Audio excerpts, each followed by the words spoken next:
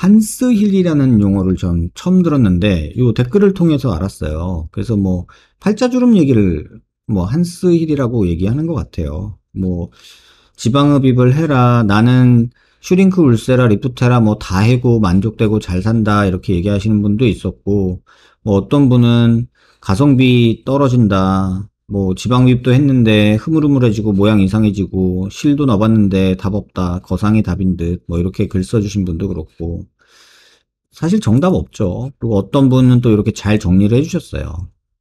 한번 같이 읽어볼까요? 한스일은 유튜브에 올리는 해당 병원 원장님이 자칭 팔자 부분을 부위를 놓고 본인 입으로 자기는 한스일이라는 명칭을 사용한다고 중요한 부분이라고 명칭을 만든 거고요. 인터넷 검색해도 안 나오고 전문 용어도 아니고 병원 필러 시술 위주로 하시는 병원이고 심도 있는 보형물 윤곽 등 외과적인 수술은 할 수 없는 곳이고요. 수술적인 시술적인 부분은 길게 못 간다는 게 중요하고요. 외과적인 게 부담된다면 시술을 해도 되지만 최종적인 거는 가성 비용 측면에서 외과적인 부분을 넘게 된다는 점은 시술은 딱 한두 포인트만 잡아주고 그 외에는 외과적인 게 비용과 시간적인 면에서 효율적인 것 같고요. 시술적인적 부분은 자기 만족이 큰 심리적 부분에서 특정 기간이 지나면 계속 시술해줘야 되는 부분에서 일반인들은 당장 보여지는 면에서 기뻐하지만 시간 지나면 결국 원점인데 좀 더 본인을 가꾸는 것도 중요하지만 기본적인 거는 공부를 좀 하자. 뭐 이런 얘기를 하셨어요. 그래서 이런 글은 뭐 잘 써주신 것 같아요. 정리 잘 해주신 것 같고 맞아요. 뭐 시술이 맞냐 수술이 맞냐 뭐 다 케바케예요. 그거를 뭐 일반적인 얘기라고 뭐 할 건 아니고요. 그래서 여러분들 아까 말했던 그런 질문의 계속적인 연속인 것 같아요. 아까 의대생이 써놓은 거에서 이것도 한번 좀 같이 곱씹어 볼 만한데 이거 하나 좀 말씀드릴게요. 정갈하게 떨어지지 않아 확률을 논할 수밖에 없는 의료의 영역에서 무엇이 잘못되었다 싶으면 의사 탓이고 결과를 판단하는 것도 결국은 의학적인 판단이 아니라 환자의 주관적인 느낌이기 때문에. 그러니까 어떤 사람이 어 동충하초 먹고 뭐 암에서 나섰다. 그럼 여러분 믿으세요? 여러분 제가 재밌는 얘기 해드릴게요. 당뇨 아시죠? 당뇨. 제가 전에도 한번 했던데 당뇨가 치료가 완치가 되는 병이 아니잖아요. 근데 이제 제가 학교 있을 때인데 내과에 당뇨 선생님이 계셨어요. 근데 당뇨 선생님이 한 환자를 한 20년 넘게 보셨던 분이 환자분이 있으셨대요. 뭐 20년 동안 혈당 조절해 주는 게 당뇨 의사의 역할이니까. 근데 혈당을 잘 조절하시고 이러고 지내셨는데 어느 날 안 오시더래요.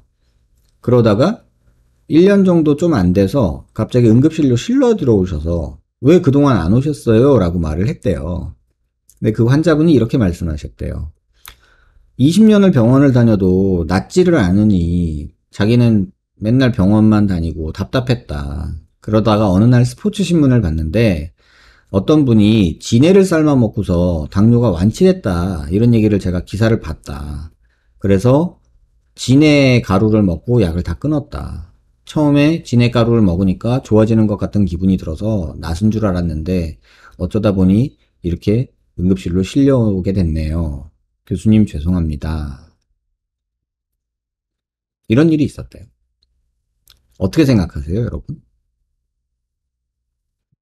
그 옛날에 그 올 초에 그 그런 일이 있었죠. 개그맨이셨던 분, 가수 하셨던 분, 그 뭐야 동물 구충제, 개 구충제였나요? 그거 먹고 폐암이 완치된다, 뭐 이런 거 얘기 있었던 거 기억나시죠? 근데 결국은 아니다라고 나중엔 얘기하셨잖아요. 그러니까 그런 것처럼 우린 너무 간절한 거죠. 우린 너무 간절한 거죠. 그러다 보니까 누군가의 경험이 나한테도 기적이 일어날 수 있을 것 같은 바램이 있죠. 누군가의 경험이 진짜인지 아닌지도 확인하지, 확인할 수 없고, 첫 번째. 그냥 그 사람이 만들어낸 가짜 경험일 수도 있잖아요. 근데 진짜 경험이다 해도 그 사람이 지네만 먹었을까? 뭐 다른 것도 있지 않았을까? 뭐 여러 요소들을 우리는 고려를 해야 되는데 그게 아니라 환자가 지네라고 느끼니까 이렇게 되는 거고. 그러니까 그런 관점에서 판단을 하게 되는 게 지금 우리의 모습이죠. 근데 이게 지금 갱월진님이 말씀하신 것처럼 우리가 의사를 불신하고 있다는 거예요. 이상해요. 왜 그럴까요? 왜 불신할까요? 본인을 위해서 누구보다 힘써서 애써서 노력해줄 수 있는 사람이 의사인데 왜 의사를 불신하고 인터넷 종교에 빠져들까요? 유튜브에 쳐보세요. 네버 구글 유어 심텀이라고 제가 전에도 한번 보여드렸던 영상 있죠. 의사들은 아프면 아 환자들은 아프면 자기의 증상을 검색을 한다고요. 구글에 대고. 근데 그러지 말아라 라는 노래가 있어요. 한번 보세요. 참고하시기 바라고요. 그런 느낌들이 우리한테 계속 난무하기 때문에 그런 게 아닌가 이런 생각이 들어요.